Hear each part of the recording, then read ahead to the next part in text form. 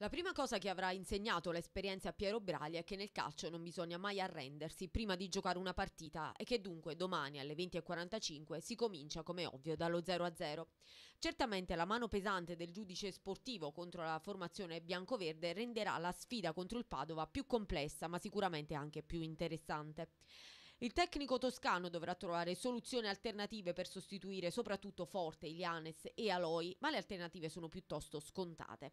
Pane è pronto a rimpiazzare il compagno come già fatto in campionato. In difesa la linea 3 sarà formata da Ciancio a destra, Dossena centrale e Laez, il più versatile del pacchetto arretrato, a coprire la corsia sinistra. A centrocampo a destra ci sarà Rizzo, a sinistra Tito, a completare i 5 Carriero ed Angelo, con De Francesco chiamato a sostituire Aloi. In avanti spazio alla coppia Manero-Fella, con quest'ultimo che potrebbe essere utile alla causa con la sua velocità ed imprevedibilità.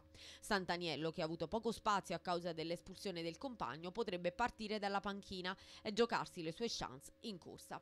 A supportare i biancoverdi ci sarà la grinta dei pochi ma rumorosi supporters che si sono accaparrati il biglietto per la gara esterna. 50 i ticket regalati dalla società, altri 25 saranno a disposizione istituzionale. Ed allora che parte il conto alla rovescia, domani alle 20.45 comincia un altro capitolo, la storia è ancora tutta da scrivere.